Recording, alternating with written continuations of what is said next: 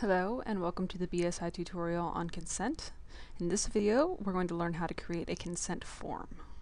First we navigate to the consent module and choose the consent form submodule on the side here. To create a new consent form we press the new button. This will open the specify identification for definition dialog. We to choose a study ID to be associated with our consent form and we to enter a form.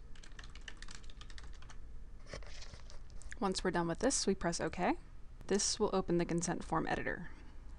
In the consent form editor, we have two potential trees, the consent form tree and the verifiers tree. The consent form tree is where we add the individual fields for each conform, and the verifiers tree is where we set up verifiers. To set up verifiers, we must first enter the consent form fields. To add a consent form field, we go up to the button at the top for add field and press it. This will uh, add a new node to the tree, and open up our field properties tab on the side and our value properties tab here.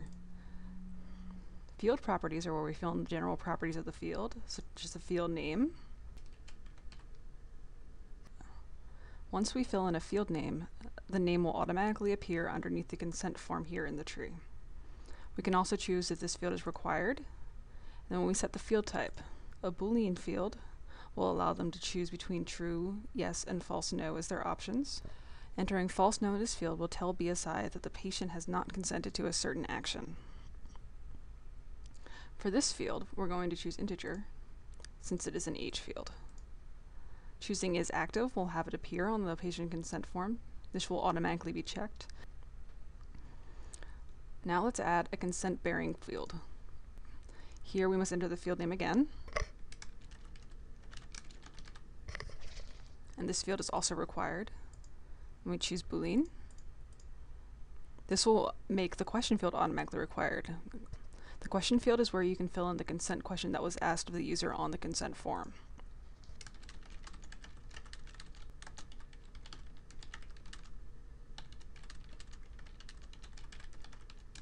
This question field will appear in the patient consent editor so that users can know which consent question was asked.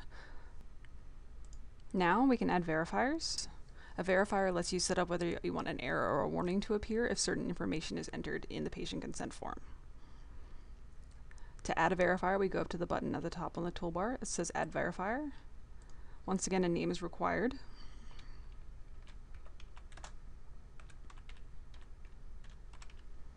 And you can choose a severity, a warning, or an error. The message field here is the place where you can enter the message that will appear to users when the error or warning is generated.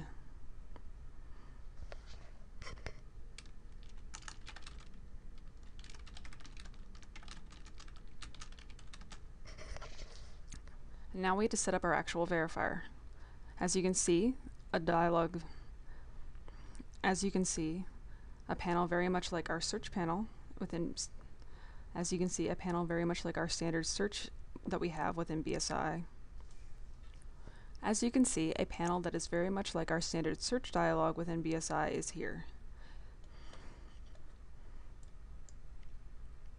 The information that you enter here will generate an error warning if the conditions are met.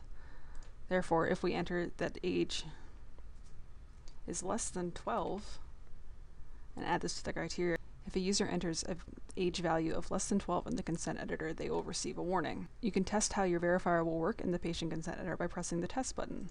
This will open a dialog where you can enter information as you would in the consent form. And as you can see, if we enter a value less than 12, the warning that we just entered appears. Once you're done creating your consent form, press save, and the consent form will appear in the manager and be available to be chosen when creating cons patient consent. Thank you for watching the tutorial on how to create a consent form. Please visit us at trybsi.com for more information.